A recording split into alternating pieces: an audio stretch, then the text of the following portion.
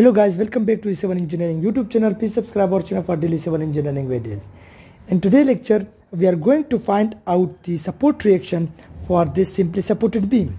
We can see here there is a hinge support which is represented by A and there is a roller support which is represented by B.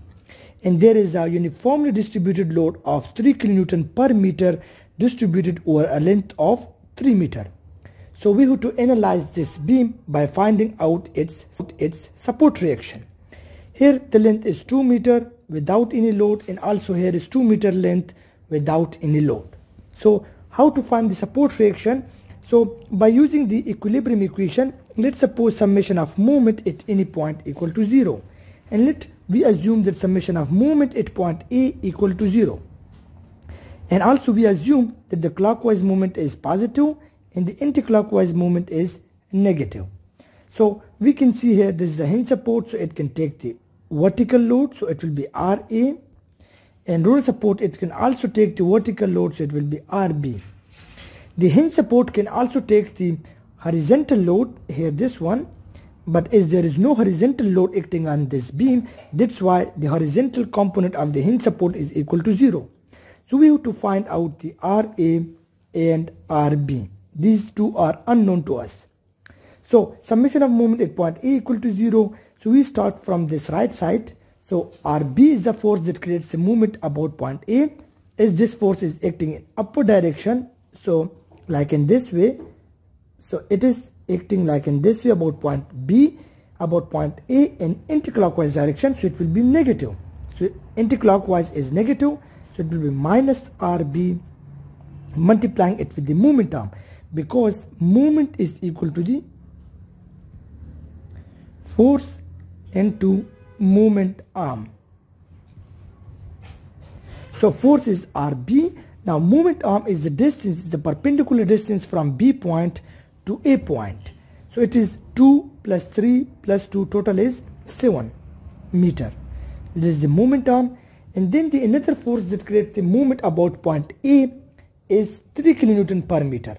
So it is a uniformly distributed load and this is acting in downward direction. So it will create moment about point A in the clockwise direction. So it will be taken as positive. So plus it is uniformly distributed load. So it will be 3 into the load, the distance on which it is distributed. So 3 meter. So 3 into 3. This is now the force. If multiplying it with the moment arm. So the moment arm is this load acts at the centroid of this uniformly distributed load here at this point. So it will be so this load acts at the centroid of this 3 meter so it means here from this point to this point it is 1.5 it is 3 divided by 2 so it is 1.5 meter. So the total moment arm is the distance from this point to the A point.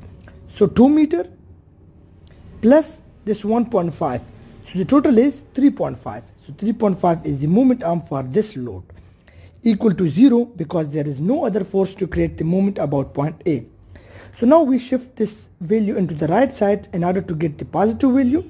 So 7RB will be equal to the, if we shift this into the right side, so it becomes positive and we got here by multiplying these values, we got here 31.5.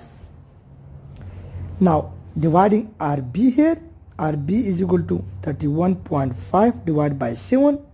So we got here 4.5 kilonewton.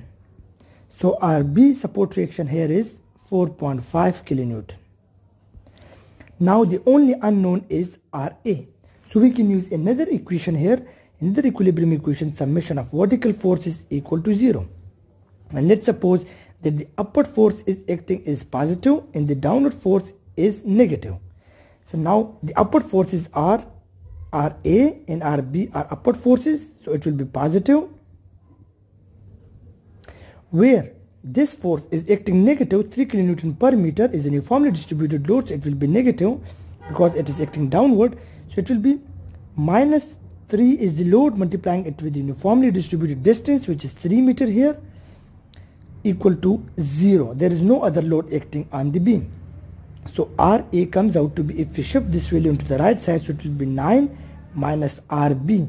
Now RB is known to us, which is 4.5, this one. 4.5 kilonewton so RA is equal to the 9 minus 4.5 so RA comes out to be 4.5 kilonewton so this is the support reaction here at this point which is 4.5 kilonewton so we find out the two support reaction A 4.5 and RB equal to 4.5 both reactions are the same value because the uniformly distributed load acts at the center of the beam. So that's why the load is samely distributed into two supports RA and RB that's why they have the same support reaction of 4.5 kilonewton and 4.5 kilonewton. So hope you guys understand and don't forget to subscribe our channel for daily civil engineering videos thank you for watching our video